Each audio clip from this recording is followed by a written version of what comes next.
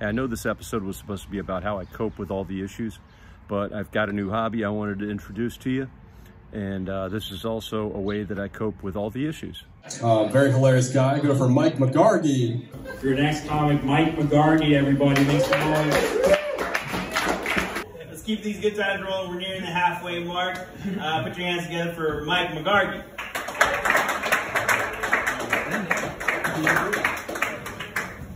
All right, let's keep that cancer train rolling. I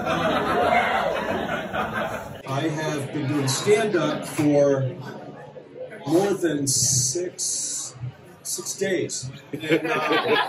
so season season veteran. I'm a prostate cancer survivor. It's a fucking lie. I'm actually a prostate cancer patient.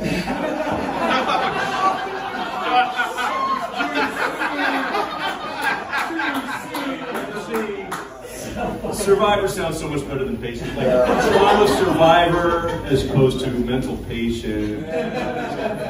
Um, prostate cancer is actually the number one killer of comedy routines in America. I'm gonna keep going.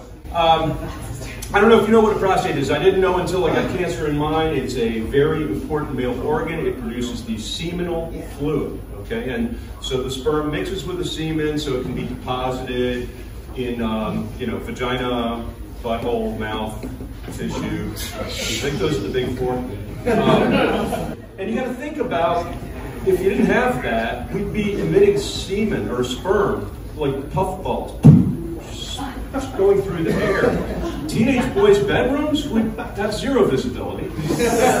um, you know, random uh, sperm flight through the air. Could, I'm not saying it's going to happen, but it could impregnate household pets. We'd have weird, weird hybrids. Like, and I'm not even talking about cute hybrids like a cat who can talk. I'm talking about like horrifying crimes against nature, like Cats in the movie. so, so yay prostate.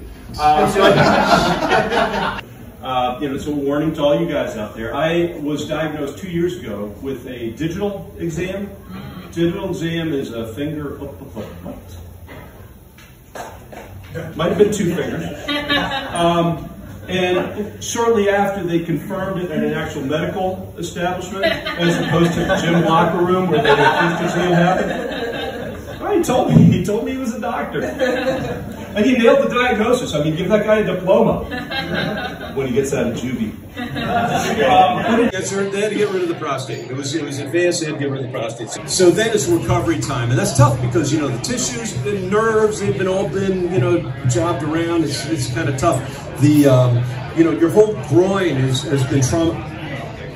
Your dick is a trauma survivor. There you go. Not a Viagra patient.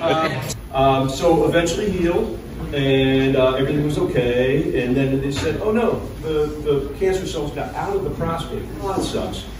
So I got prostate cancer with no prostate, which just doesn't seem right. But apparently, it's like it's like uh, French toast. You know, like it's not just toast when you're eating it outside of France. So. I mean, this is what I understand anyhow. Uh, it's all good. It's all okay. Uh, I've had two different treatment regimes, and I'm on the third, the last one. And it's two years, and what it is is hormone therapy, where they kill your ability to produce testosterone because that's what the cancer cells do. And that should do it. Uh, but I tell you what, I kind of like testosterone. Um, my doctor, a month after the first shot, he says, uh, "Hey, congratulations, you have zero testosterone." I don't know. I mean, I guess that's the goal, but it doesn't sound good coming from a doctor or you know from a date in your twenties when you said, "This has never happened to me before." I mean, theoretically, if somebody heard that, that would, that would be bad. Um, but yeah, it's okay. It's um, a lot of side effects. I've sidestepped some of them. I work out really hard. I eat well. Uh, so I haven't gained fat, which is one of them. Lost muscle mass, bone mass, you know, that's another one. One, uh, there's actually a sizable percentage of guys that um, grow breast tissue. Hey, eyes are up here. uh, so that hasn't happened to me. Um, but I have gotten fatigue and joint pain and hot flat, hot flashes. Holy shit, I've got hot flashes. Uh, in fact, my doctor had said to me, um, you are functionally, this is great, you are functionally a menopausal woman. Thanks, Doc. You know just what a gal likes to hear. Um, but on the plus side, with the hot flashes and all that, I'm, um, I'm kind of like catnip to uh, middle-aged women right now. I mean, I can, where are they going to find a guy where you can sit around, drink wine, um, you know, watch Lifetime movies and uh, share menopause tales. Right? so I'm in demand. I'm in demand, but I'm a little worried because I uh, I'm a little worried. I'm losing some of my masculinity. There's some things I used to be able to do that I just can't do anymore. It's uh, it's vanishing from me like uh, road rage. Jesus Christ, I was good at, at road rage. And the other day I'm driving down the road, this guy's walking kind of slowly across, right? And I have to stop. And you know what my reaction was? It was, oh, that poor guy. I, uh, you know, I too have felt the need to walk slowly on occasion. What the fuck? What has happened to me? Two years ago, I would have nailed the response, which is, hey, get the fuck out of the road, screw you, screw your stupid Spider-Man backpack and your stupid elementary school. And then another one. I used to be almost like a prodigy at mansplaining. Yeah, mansplaining for the women out there. is when I mean, but look, I couldn't even finish the bit. Look at me. I don't I don't even recognize myself. Who's the monster that I've become? I don't know.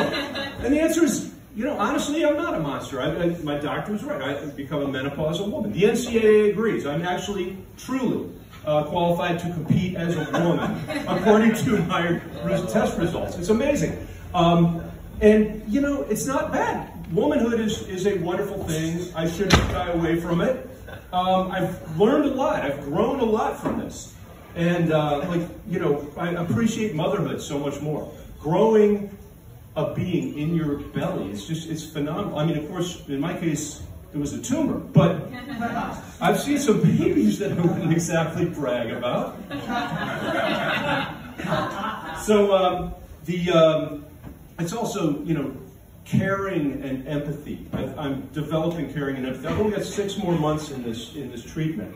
Then I'll be back to you know testosterone. But you know, like I am, I'm empathetic for people that I never was before. Like for example, I'm empathetic now. I'm learning empathy for men who mansplain. Like you know, am I right, my sisters? They, they would not have to mansplain if we didn't say so much stupid shit. Well, that's my time, and I'm going to run out that exit as fast as I possibly can. You've been a very empathetic crowd, you pussies.